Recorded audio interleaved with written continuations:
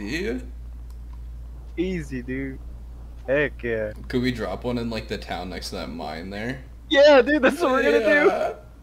Just drive right at their main. God, we're gonna win this one for sure. Look at these halves.